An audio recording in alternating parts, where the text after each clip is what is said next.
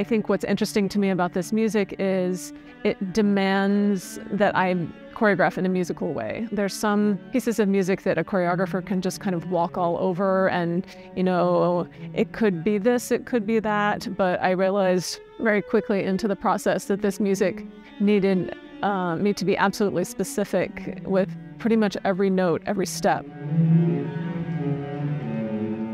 It's a suite of dances, a Bach cello suite. This one that I chose, number six, is apparently the most difficult one. I chose that without realizing it. Sorry to the cellist.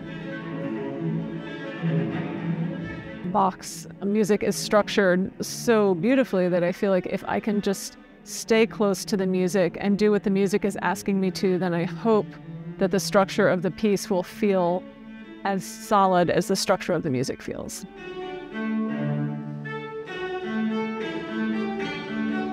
The movement vocabulary for this piece is based on a ballet foundation. It is contemporary, so that uses floor work. And I'm using pointe shoes, which I don't always do. And in this piece, some of the women dancers are on pointe, some of them are off pointe in socks. And I wanted to be able to contrast what's possible when you're dancing on pointe with what becomes possible without pointe shoes on. It's not always that I get to work with live music. I liked the idea of having a musician on stage, and I think the cello is a beautiful sounding instrument, but also a beautiful looking instrument.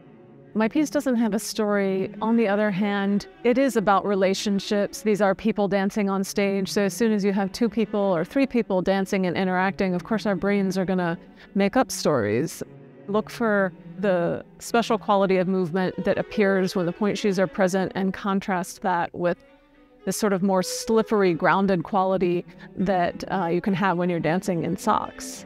Bach's music was written during Baroque times, and I think some of the things that I'm creating start to look like Baroque dance, even with my lack of knowledge about it.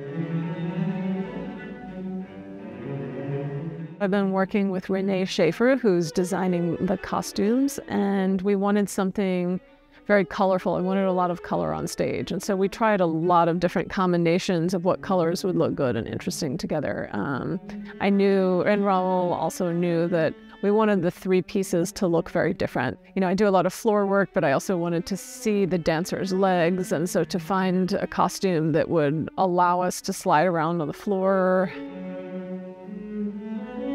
For me, I always like to start with creating solos and duets I feel most comfortable doing that, having only one or two dancers in the space and, the intimate atmosphere of that. And um, on the other hand, I know that the most exciting and dynamic parts are when the whole group is on stage together.